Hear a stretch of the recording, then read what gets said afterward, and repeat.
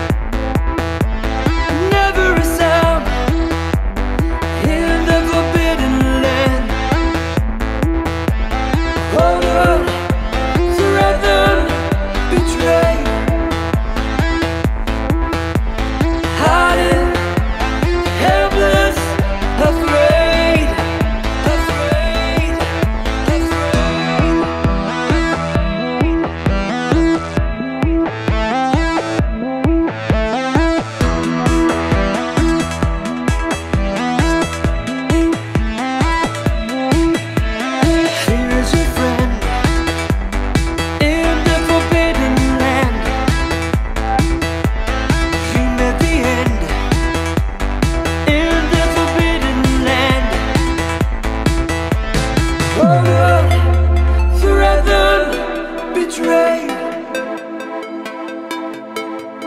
Hiding, helpless, afraid.